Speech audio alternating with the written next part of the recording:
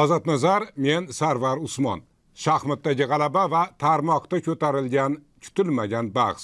Amir temurning yuzini qora qiladigan chaqiriq. Shu mavzular haqida ham gaplashamiz bugun. Hozir esa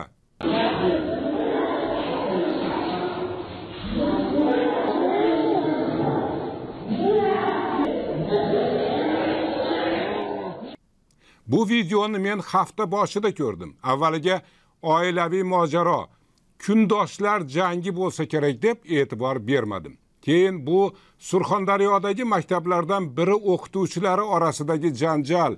Ular dars talashib bir birining sochini yulyapti degan ma'lumotni uqdim shu qadar ham mushtlashadilarmi dars talashib? Kim aybdor? O'qituvchilarning o'zlarimi maktab rahbariyatimi? Yo hukumatmi? Yo turmush darajasining pastligimi bu savollarga javob topolmadim va shuning uchun ko'rsatuvga xalq ta'limi yangiliklarga yangiliklariga ixtisoslashgan telegram kanal egasi sotsiolog qobil do'sovni taklif qildim. Assalomu alaykum. Assalomu alaykum. Qobiljon hozirgina parchasini ko'rganimiz videoni siz ham o'z kanalingizda e'lon qilibsiz. Sizda videoda aks etgan maktab nomeriyu u qaysi tumanda ekanligi to'g'risida ham ma'lumot keltirilgan menimcha hozir maktabning nomerini aytish zarur emas hatto tumanini ham. Shaxsan menga hodisaning o'zi qiziq. Ba'zi bir maktabda dars talashib o'qituvchilar mushtlashayotgan ekan demak bu muammo boshqa maktablarda ham bor. Shundaymi?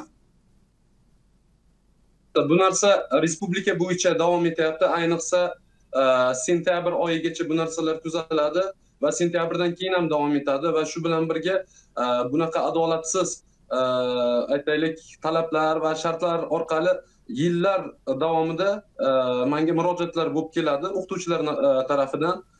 Qo'limdan kelgancha vakolatim doirasida imkoniyatim doirasida yordam berishga harakat qilaman. Lekin bu katta masalalardan bittasi. Adolatsiz adolatsiz talablar dedingiz. Nima u? Nimasi qanday talab u? Uni nimasi adolatsiz aytaylik e, dars taqsimoti e, masalasida bu janjallar bo'lyapti.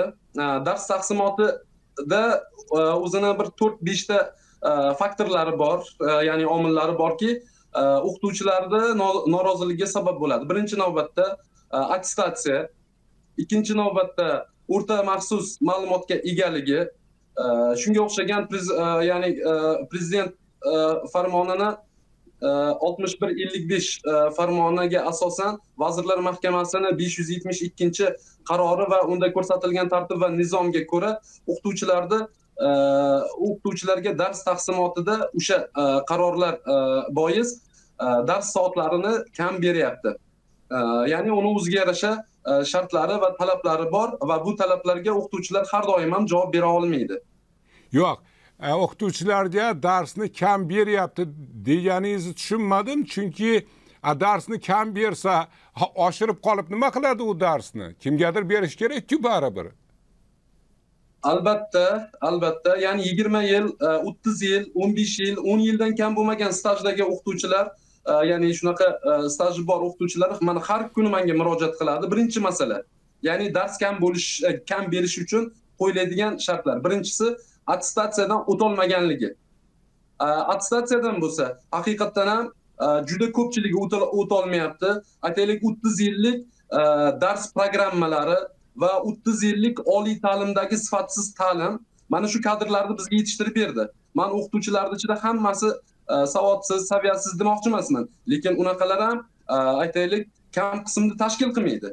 Endi bo'lsa yangi ma'muriyat davrida shunaqa talablar qo'ydiki ikki ming o'ttizinchi yilgacha maktablarda yuz foiz oliy ta'lim e, oliy ta'limga ega bo'lgan o'qituvchilar bo'lishi kerak degan e, shart qo'yilgan. Ana shunga qarab hozir o'rta maxsuslarni aytaylik e, sekin sekin safini maktablarda o'qituvchilar safidan qisqartirishga siyosat olib borilyapti.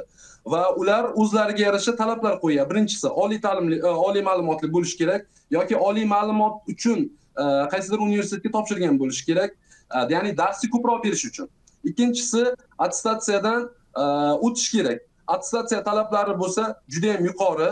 O'zini ustida ishlagan mehnat qilgan o'qituvchilar attestatsiyadan o'tyapti. Agar o'zini ustida ishlamagan aytaylik bilimi saviyasi past o'qituvchilar aytaylik attestatsiyadan o'tolmayapti mana shu sabab bo'lyaptida qarang qarang qarang hoziroq qobiljon hozirgi javobingiz boshrog'ida bir aytdingizchi men tushunmagan joyim attestatsiyadan o'tolmasa darsni kam beryapti dedi. Shundoqmi shundoq dedingiz kecha attestatsiyadan o'tolmasa darsni kam beryaptimi albatta chunki vaziyat attestatsiyadan o'ta olmasa nimaga bo'shatib yubormaydi attestatsiyadan o'ta olmasa demak u o'qituvchi emas ekan. Bu juda ko'pchilikni tashkil qiladi. Man farg'ona viloyati farg'ona viloyati xalq ta'limi boshqarma boshlig'i sherzod dolimov bilan va chirchiq shaharida o'n sakkizinchi maktab direktori imomaliyev ulug'bek aka bilan man kecha gaplashdim bu masala bo'yicha. Ya'ni vaziyatni aytaylik har taraflama e, haqqoniy tahlil qilish maqsadida. Gaplashsam ya'ni bu nima uchun qilinyapti? Ya'ni dars nimaga kam berilyapti? O'qituvchiga imkoniyat berish uchun. Aslida o'sha besh yuz yetmish ikkinchi vazirlar mahkamasini qarori bo'yicha attestatsiyadan e, o'tmagan o'qituvchi bilan maktab direktori o'rtasida tuzilgan maktab bilan tuzilgan shartnoma bekor bo'lishi kerak. Lekin biz agar shunaqa e, aytaylik davom etadigan bo'lsak vaziyatda e, juda ko'pchiligi oltmish yetmish foiz e, attestatsiyadan o'tolmagan o'qituvchilar ishsiz qoladi va vaziyat jiddiylashadi. Shu uchun e, bir stavka emas attestatsiyadan o'tolmagan o'qituvchiga uni tajribasi yigirma yil yo o'n besh yil bo'lishi mumkin. Biz yarim e, stavka dars beryapmiz ya'ni vaziyatni battar taranglashtirmaslik uchun va olti oy yetti oyni ichida u o'zini ustida ishlab attestatsiyaga tayyor bo'lib bilimini oshirib attestatsiyadan o'tib toifa olsa yana e, davom etaveradi degan maqsadda. demak demak ta'lim tizimi qobiljon ta'lim tizimi demak attestatsiya degan hoyi hashamga e, zarurati yo'q ekanda hozir. Tayyor emas ekan. Keling attestatsiya bilan bog'liq yana bir jihati maktablardagi janjallarga hukumat o'qituvchilar e, hozir siz aytganingizdek attestatsiyaga oid o'z qarorini bir yilga qolmay o'zgartirgani ham sabab bo'layotgandayda gap nimada ekanligini tushunish uchun ikkita qarorning oliy malaka toifali o'qituvchilarga oid me'yor talqinidagi farqqa e'tibor e, qaratgim kelyapti. Hozir ikkita qarordan ko'chirmalar o'qiymiz. Vazirlar mahkamasining 2021 yil 17 sentyabrdagi 572 qarorida ta'lim tashkilotlarida 15 yillik uzluksiz ish stajiga ega bo'lgan oliy malaka toifali bosh o'qituvchi lavozimidagi pedagog kadrlar majburiy attestatsiyaga jalb etilmaydi.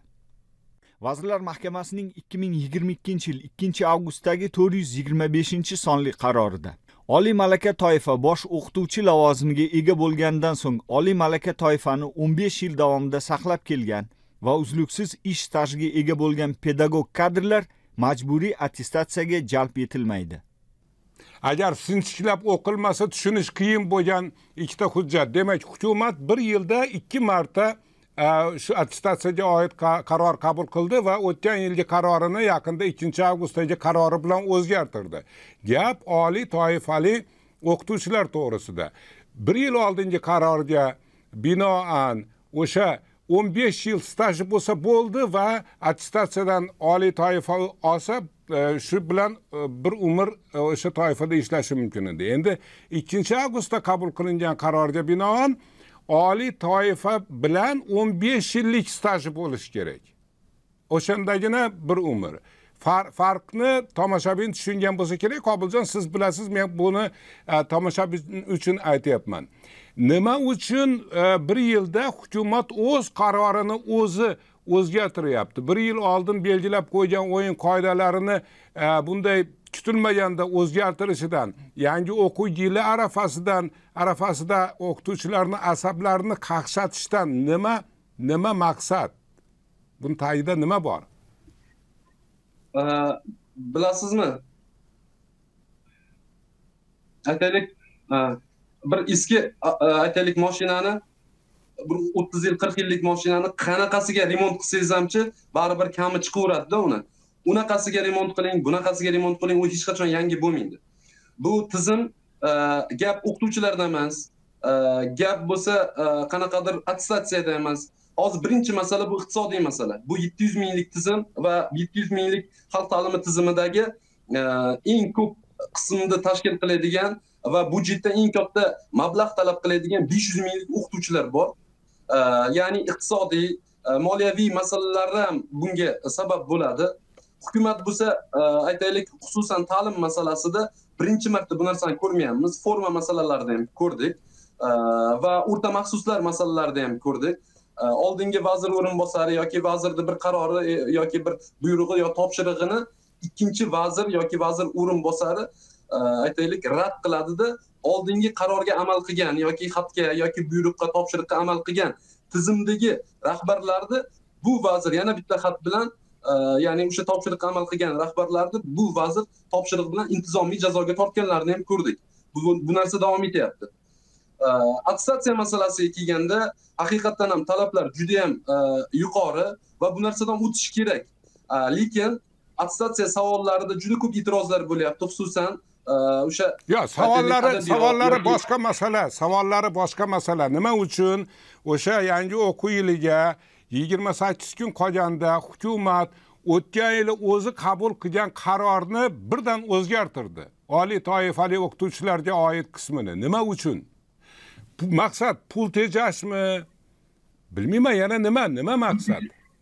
Yo'q pul pul tejash bu birinchi navbatdagi masala.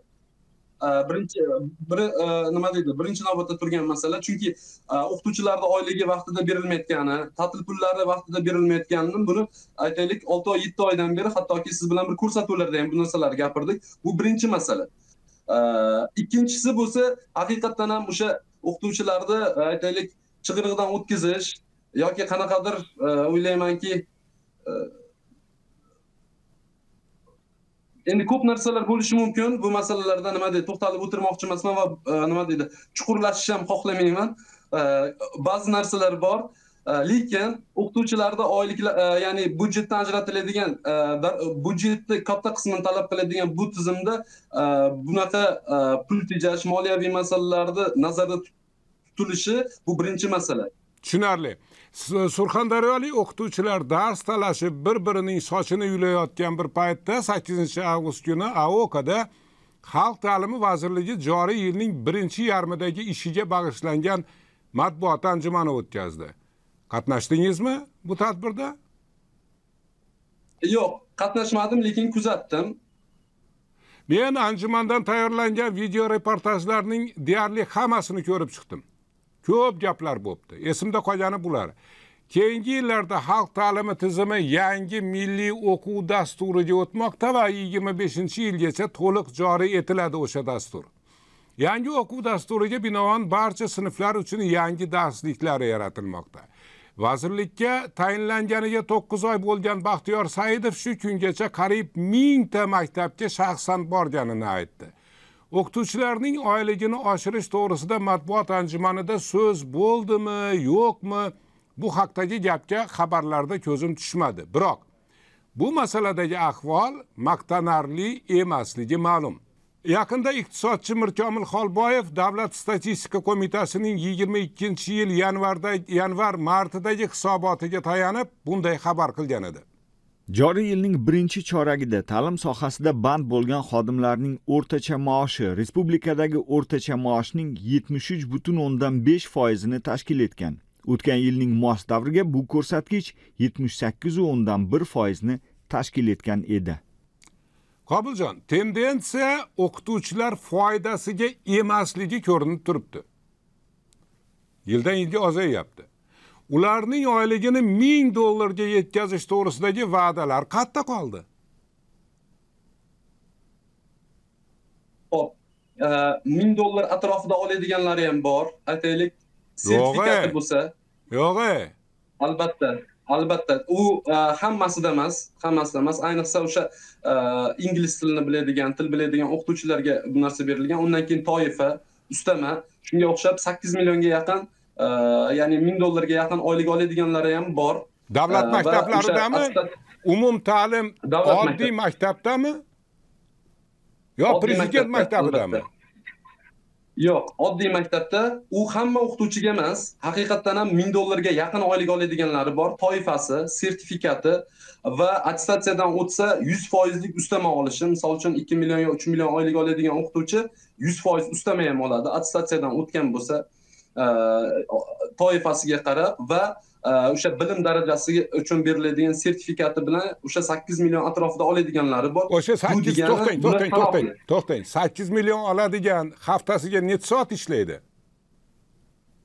yigirma soat yigirma soat yigirma soat albatta o yaxshi ekan ya'ni yigirma soatlik dars nechi foizi o'sha umuman o'zbekistondagi yuz minglab o'qituvchini e, nechi foizi o'sha shuncha oladi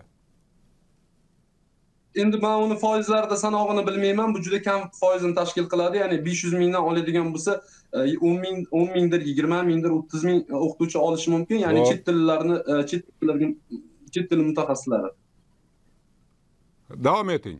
Lekin aksar aksariyat lekin aksariyati aksariyati o'sha ikki million ikki yarim million oyligi va bu bu narsalar aytaylik o'shanga ham rozi o'qituvchilar ya'ni 2 million million oylik olish 2 million 2 2 million 2,5 millionni olish uchun necha soat ishlaydi bir haftada necha soat dars beradi o'qituvchi bilasizmi ya'ni dars taqsimotiga qaraladi bir xillari hattoki o'sha besh soat o'n soat hatto uch soatlik dars dars bilan nima deydi uch soat dars olib ishlaydigan o'qituvchilar ham bor. Lekin ikki million olmaydida uch soatga.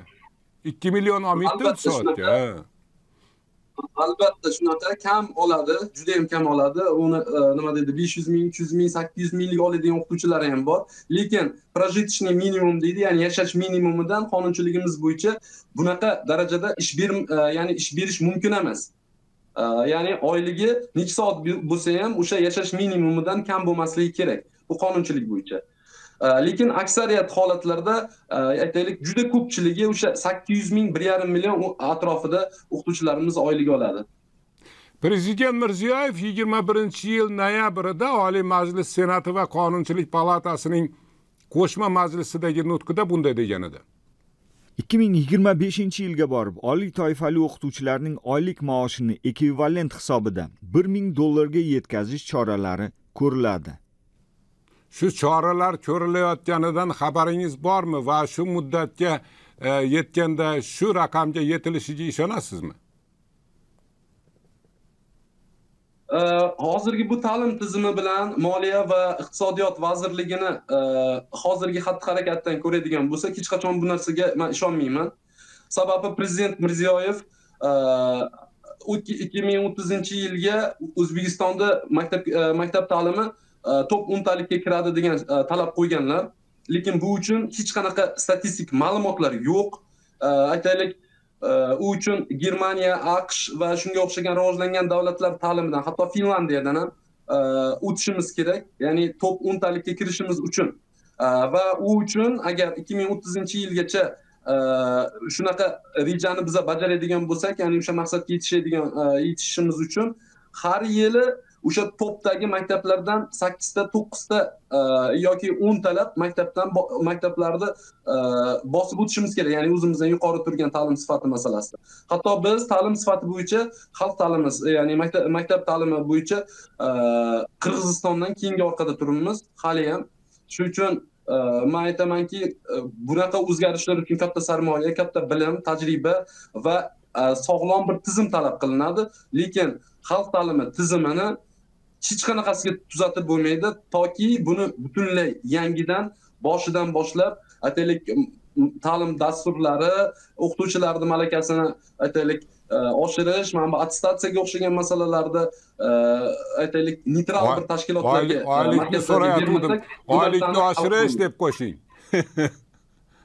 oylik. Albatta bu katta sarmoya talab qiladigan bu uchun bo'lsa iqtisodiyot bu kambag'allikni qisqartirish vazirligi hech qachon bu narsaga aytaylik Э, yo'l qo'ymaydi. Ya'ni katta э, sarmoya talab qilinadigan. Lekin bitta iqtisodiyot yoki moliya vazirligida emas bu gap aytaylik vazirlikni o'zida xususan vazirni o'ziga полномочия berish kerak ya'ni vakolat berish kerakki u o'ziga o'zi xo'jayin bo'lishi kerak. Puli ham o'ziniki bo'lishi kerak.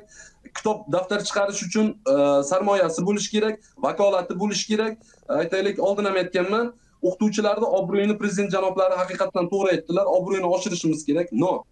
Lekin vazirda obro'yi bo'lmagandan keyin o'qituvchilarni obro'yi hech qachon oshmaydi. Chunki vazirni vakolati yo'q sarmoyasi yo'q puli yo'q imkoniyati yo'q e, vakolatlari chegaralangan. Har doim kim bilandir e, kimdandir ruxsat olib aytaylik vazirlar mahkamasini ya'ni hukumat a'zosi bo'lgan bilan ham moliyadan e, iqtisodiyot vazirligidan vazirlar mahkamasidan ruxsat olib bir ish qilish kerak.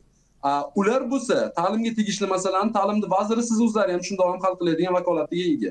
Butun ta'limni avtonomiyasini vazirni qo'liga olib bermasa vazirni obro'yini tiklamasa vazirga vakolat bermasa hech qachon o'qituvchilarni biz obro'yini oshira olmaymiz. Ho'p yangi o'quv yili arafasidagi gaplarimiz xalq ta'limiga oid gaplarimiz bir sevintirarli bo'lmadi. Mayli boshqa mavzuga o'tamiz endi qobiljon. Mamlakat yoki global miqyosda bo'layotgan yirik voqealar o'zbek jamiyatining fikriy qutblarga bo'linishiga sabab bo'lyapti. Bilmadim bu tabiiydir. Masalan rossiyaning ukrainaga urushi oqibatida jamiyat ukraina tarafdorlariga hamda rossiya tarafdorlariga bo'linib qoldi. Xabaringiz bor. Ozod nazarning kechagi sonida so'z qilganimiz voqea o'zbek shaxmatchilarining g'alabasi jamiyatni har holda tarmoqlar ahlini shaxmat tarafdorlari va shaxmatni diniy nuqtai nazardan harom deb biluvchilarga bo'lib qo'ydi. Shaxmatga qarshilardan biri bunday debdi. Harom ishlardan maqtanadigan zamonni ham ko'rishlik bor edikan bu boshimizda. Dunyoda birinchi raqamli shaxmatchi bo'lsa ham ular bor yo'g'i bir o'yinchiligicha qoladi. Bunday fikr bildiruvchilar marhum muftiy shayx muhammad sodiq muhammad yusufning ham fikriga tayanadi. U kishi 2013 yili shaxmat o'yinini o'ynash mumkinmi yoki harom qilinganmi degan savolga bizning mazhabda mumkin emas deb javob bergan. Bunday javob savol javoblar ko'p o'tgan ekan arxivlardan izlasak e, yana bir nechasini topish mumkin. Aynan muftiyni e, mana shu masalaga bergan javoblarni. Ayni paytda shaxmatchilarning mislsiz g'alabasidan suyunayotganlar ko'p. Qobuljon jamiyatni millatning tarixiy g'alabasi ham birlashtira olmayotgani tashvishli emasmi? Yoki bu holatga normal jarayon fikrlar pluralizmi deb qarash kerakmi? Sotsiolog sifatida endi aytingchi albatta jamiyat hech qachon e, e, yakka fikr bo'lmaydi. Jamiyatda agar mabodo hamma bitta fikrlaydigan bo'lsa u totalitar e, siyosat hisoblanadi. Ya'ni bunaqa jarayonlar bo'lishi to'g'ri. Lekin bizada bitta narsa bor diniy mutaassiblik bor. Har bir narsaga o'zini diniy e'tiqodidan kelib chiqib baho berib va boshqalarga o'tkazish ham o'tkazish o'tkazish yoki ta'sirini o'tkazish juda bizada bilasiz kuchli shu uchun bu narsa ajablanarli e, holat emas. Lekin oldingi davrlarga qaraganda aytaylik bir yil ikki yil yo uch yil oldingi e, mutaassiblarga mutaassiblikka qaraganda hozirda bizni musulmonlarimiz ancha aytaylik ratsional fikrlaydigan e, va siyosiy ongi huquqi boshqacharoq nima deydi tahlili analizga ega hozir jamiyatimiz. Ya'ni besh yil o'n yil oldingi o'zbekistonliklar emas hozirgi o'zbekistonliklar. Shuning uchun bu bu vaziyatga ham hamma aytaylik bir tolerant ruhda qaraydigan musulmonlarimiz ham bor va bunaqa mutaassiblar ham bor. Bu e, ijtimoiy tarmoqlarda juda e, tanqidlarga uchradi va o'ylaymanki o'zini darsini oldi bu bilan. Endi har holda har holda shaxmatchi yigitlarni kechagi g'alabasi butun millatni birlashtiradigan bir voqea bo'lganida va aynan shu g'alabadan keyin ham mana shunday bir ixtiloflar paydo bo'lganiga fikriy ixtiloflar e, qarama qarshiliklar ziddiyatlar paydo bo'lgani shaxsan meni e, hayron qoldirdi. Ho'p shu kunlarda o'zbek jamiyatini har holda ijtimoiy tarmoq ahlini junbishga keltirgan yana bir voqea rossiyaning perm o'lkasida yashayotgan o'zbeklarning amir temur nomida temurlang deb degan nomni qo'y e, degan nomda batalyon tashkil qilib ukrainaga qarshi urushga kirmoqchi bo'layotgani. Vetta telekanali e'lon qilgan videoda perm o'lkasi o'zbeklarining markaziy osiyo jamiyati yetakchisi deb atalgan jahongir jalolov shunday taklifni ilgari surgan. Bu xabar ham darhol tarmoqlarning o'zbek segmentiga ko'chdi. O'ta salbiy aks sado berdi. Mana ba'zi fikrlar. Oliy majlis zudlik bilan amir temur batalyoniga a'zo bo'lgan yurtdoshlarimizning ota onalarini qamoqqa olish to'g'risida qonun chiqarishi kerak. Batalyonga qo'shilganlarni fuqarolikdan chiqarib qaytsa 25 yil berilishini so'rayman. O'zbekiston respublikasi fuqarosining chet davlatlarning harbiy xizmatiga xavfsizlik politsiya harbiy adliya organlari yoki shunga o'xshash boshqa organlarga xizmatga yollanishi uch yildan besh yilgacha ozodlikni cheklash yoxud uch yildan besh yilgacha ozodlikdan mahrum qilish bilan jazolanadi qobiljon siz bu vaziyatni qanday sharhlagan bo'lardingiz bunday vaziyatda davlat og'ishmay qonuniy chora ko'rish kerakmi yoki kreml bilan orani buzmaslikka intilish siyosiy maqbullik ustun keladimi sarvar aka bilasiz biza baribir har bir davlat bilan har bir davlatni siyosati bilan o'zimizni siyosat bilan teng masofada ya'ni e, har bitta davlat bilan ya'ni teng masofada muloqotda bo'lamiz diplomatik muloqotda bo'lamiz. Ularni siyosiy qarashlari yoki boshqa e, u yoki bu qarashlarini na qo'llab quvvatlaymiz na ularga a'zo bo'lamiz. Bilasiz o'zbekiston bironta harbiy blokka a'zo bo'lmagan davlatlardan bittasi markaziy osiyodagi endi bu masala bo'yicha davlat e, aytaylik kreml bilan aloqani uzadimi uzmaydimi degan masalaga man e, ya'ni savolga uncha qo'shilmayman. Sabab e, tashqi ishlar vazirligimiz yo'q yo'q yo'q yo'q masalani unday qo'yganim yo'q. Kreml bilan aloqani uzadimi degan savol qo'yganim yo'q. Masala bu, bu darajaga yetgani yo'q. Men aytyapmanki o'sha masalan qonunda belgilab qo'yilgan agar u o'zbekiston fuqarosi bo'lsa va e, rossiya tomonda turib urushga kiradigan bo'lsa qonunda belgilab qo'yilgan u javobgarlikka tortilishi kerak. Davlat o'sha og'ishmasdan o'sha qonunga e, binoan ularni javobgarlikka tortadimi? Yoki agar shunday qiladigan bo'lsak kremlni g'ashi kelib qoladi deb indamay qo'yaveradimi degan savol edi. Ha buzadimini man uzadi deb eshitdimmi uzr balki aloqadandir kechirasiz bu uchun ya'ni bu bo'yicha tashqi ishlar vazirligimiz e, o'zini jiddiy adashmasam bir ikki oy uch oy oldin e, o'sha e, ukraina rossiya munosabatlari keskinlashgan paytda o'zini fikrini aytgan tashqi ishlar vazirligi ya'ni javobgarlikka tortilishi mumkinligini agar fuqarolarimiz u yoki bu e, siyosiy harakatlarda e, siyosiy harakatlarga qatnashsa deb kecha mehnat migratsiyasi o'zi e, rasmiy bayonot berdi va bu masalalar bo'yicha hozir ekranda ya'ni gapirishimdan oldin qo'ydingiz. Ya'ni qonunchiligimiz bo'yicha uch yildan besh yilgacha ozodlikdan mahrum qilish yoki ozodlikdan cheklash masalasi bo'yicha kecha kecha mehnat migratsiyasi bu bo'yicha bayonot berdi rasmiy. Keling o'sha bayonotdan o'sha o'sha bayonotdan bir parchasini o'qiymiz. O'zbekiston fuqarolaridan bunday da'vatlarga ergashmaslikni ziddiyatli hududlarga bormaslikni va harbiy harakatlarda ishtirok etmaslikni so'raymiz. Marhamat davom eting. Bu tashqi mehnat migratsiyasi agentligining bayonotidan parcha edi ya'ni bu narsani man qo'llab quvvatlayman ya'ni o'zbekistonda fuqarolarini rossiyada qanaqadir manfaatlar orqali hozir bu narsa harakatlar ketyapti. Bizaga e, ko'p ma'lumotlar keladi bu masala bo'yicha. Bu bo'yicha o'zimizni e, xavfsizlik xizmatlarimiz maxsus xizmatlarimiz o'zini faoliyatini olib boryapti. Ya'ni u yoqda bo'ladigan o'zbeklar va diasporalarimiz masalasi bo'yicha e, qaytadan ko'rib chiqish kerak. Esingizda bo'lsa o'tgan yili ozodlikka mana shu diasporalar bo'yicha intervyu bergan edim. Ya'ni bu masala bilasiz birlashgan millatlar tashkilotini inson rivojlanish e, e, inson inson rivojlanish indeksida indeksini kriteriyalaridan muhim kriteriyalardan biri hisoblanadi. Ya'ni o'zbekistondagi ya'ni har bir davlatni diasporalari boshqa davlatlarda va ularni faoliyati. Shu bo'yicha e, o'ylayman maxsus xizmatlarimiz tashqi ishlar vazirligimiz bu bo'yicha faoliyat olib boryapti. E, ko'pchilik e, ko'p narsalardan man xabarim ham bor. Shuning uchun bu masalani bu masalaga o'zbekiston bee'tibor bo'lgani yo'q va bu uchun kerakli chora tadbirlar ko'rilyapti. Ho'p qobiljon siz tarmoqda faolsiz va tarmoqda shunchaki yuzer emassiz. Siz sotsiologsiz. Va sotsiolog nazari bilan qaraysiz jarayonlarni kuzatasiz. Ukrainada urush boshlanganiga besh oydan oshdi.